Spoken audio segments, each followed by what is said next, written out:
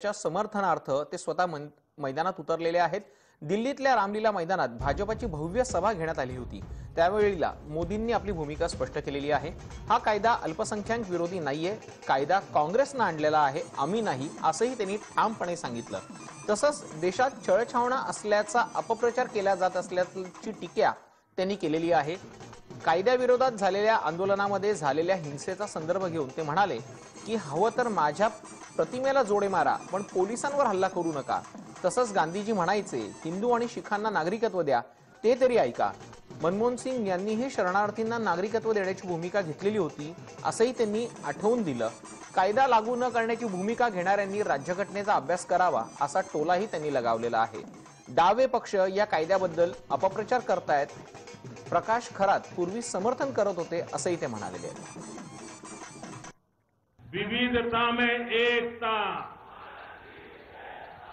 विविधता में एकता। विविधता में एकता। विविधता में एकता। भारत माता की। शहीद पुलिसों को याद करते हुए मेरे साथ नारा बोलिए, शहीद! शहीद हो अमर रहो। शहीद! हो शहीद! हो शहीद! हो शहीद! हो शहीद! हो इन सभी शहीद पुलिस आत्माओं को मैं प्रणाम करता हूँ।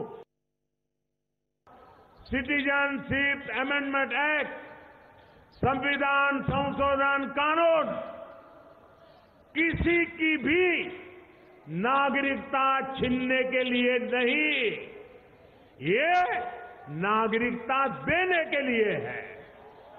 एनआरसी, इसका भी ऐसा झूठ चलाया जा रहा है। ये कांग्रेस में जमाने में बना था, तब सोए थे क्या?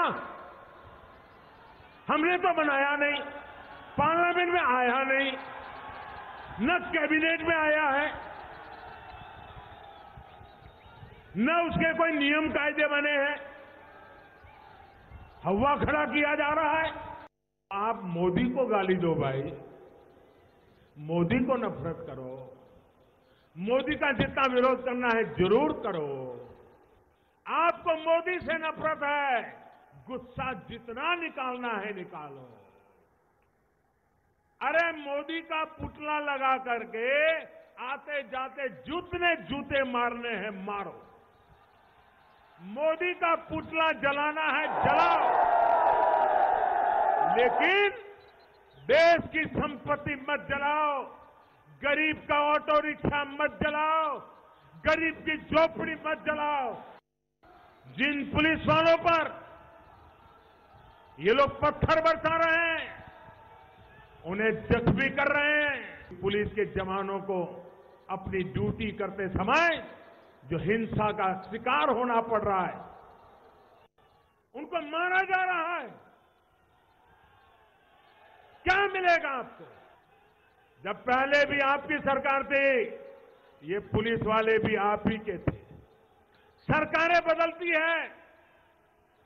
पुलिस वाले किसी के दुश्मन नहीं होते। मोदी को मानो या ना मानो? अरे गांधी को तो मानो?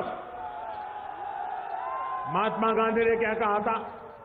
महात्मा गांधी जी ने कहा था कि पाकिस्तान में रहने वाले हिंदू और सिख साथियों को जब लगे कि उन्हें भारत आना चाहिए तो उनका स्वागत है। हमें बांग्लादेश से आए उन लोगों को नागरिकता देनी चाहिए, जिनका अपनी आस्था की वजह से वहाँ पर उत्पीड़न हो रहा हो, जो वहाँ से भाग करके भारत आ रहे हैं। बताइए भाई, ये मनमोहन सिंह जी ने कहा, अगर वो मोदी करता है तो मोदी गुनहगार बन जाता है क्या? हम दुनिया में पाकिस्तान कैसे मानव अधिकार विरोधी है? पाकिस्तान कैसे माइनॉरिटी पर जुल्म करता है। पाकिस्तान में माइनॉरिटी की क्या दुर्दशा है? ये चित्र पूरी दुनिया में ले जाने का उत्तम अवसर था। दीदी, अब आपको क्या हो गया? आप क्यों बदल गई? आप क्यों अफवाह फैला रही हो? अरे चुनाव आते हैं, जाते हैं, सत्ता मिलती है, चली जाती है। इतनी डरी क्यों हो रहे बंगाल की जनता पे भरोसा करो। जो हिंदुस्तान की मिट्टी के मुसलमान है, जो हिंदुस्तान की मिट्टी के मुसलमान है, जिनके पुरखे माँ भारती की संतान है भाइयों बहनों, उन पर नागरिकता कानून और एनआरसी दोनों का कोई लेना देना नहीं है।